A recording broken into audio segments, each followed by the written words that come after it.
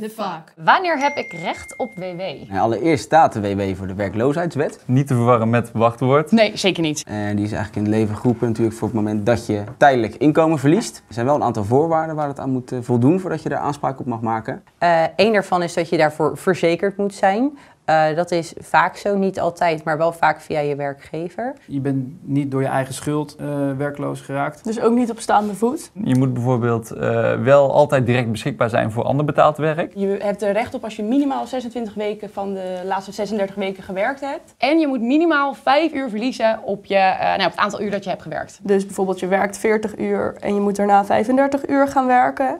Ja. Eh, dan heb je ook recht om eh, WW aan te vragen. De hoeveelheid van je inkomen uit de WW kan je checken op uwv.nl. Check, check. Check hier nog meer afleveringen van What the Fuck of drop jouw vraag in de comments.